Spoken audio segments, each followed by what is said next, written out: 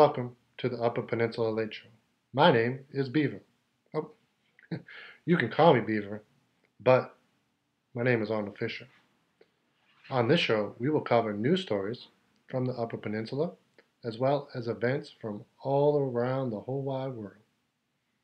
You can find the Upper Peninsula Late Show on the internet at Twitter. If you follow us at Upper Late Show,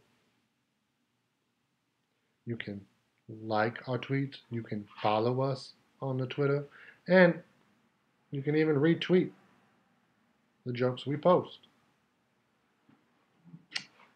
Welcome to the Late Show from the Upper Peninsula, where cold isn't only something you have, but it's something you are.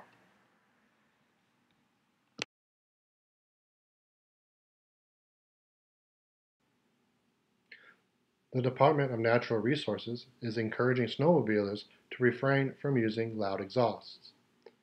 When reached for comment, one snowmobiler said, Huh? An unwanted subject was found in the Kingsford High School and Middle School complex. The subject has been identified as climate change science.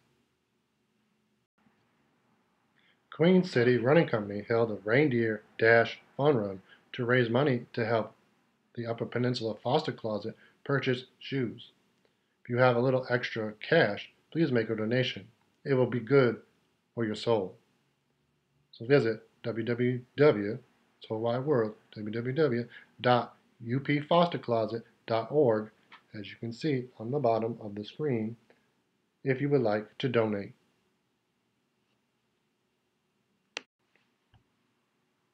The Upper Peninsula Late Show is brought to you by Gun and Pawn, trading guns for other belongings, just like when America was great.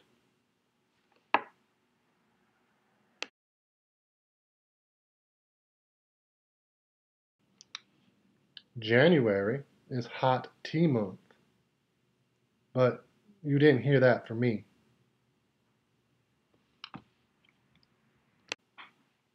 The government reopened after a 35 day shutdown due to a failed agreement for a border wall on the U.S. Mexico border. All President Trump wanted for Christmas was a wall, and all he got was increased business for coal.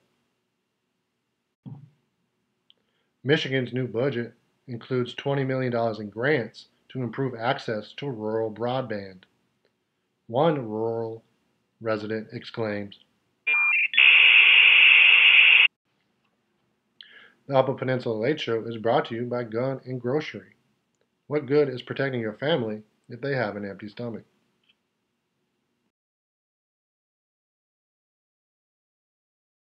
Microsoft co founder Paul Allen passed away. Before passing, he was quoted in an interview as saying,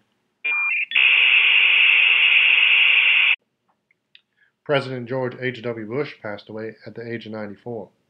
He desired a world that was open to America, but left an America that was closed to the world.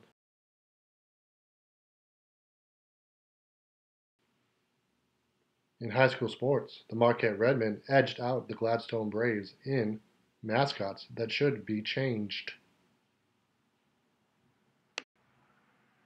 The Milwaukee Bucks are currently the top team in the NBA's Eastern Conference. When asked about their chances to win the championship, local hunters give the Bucks a good shot.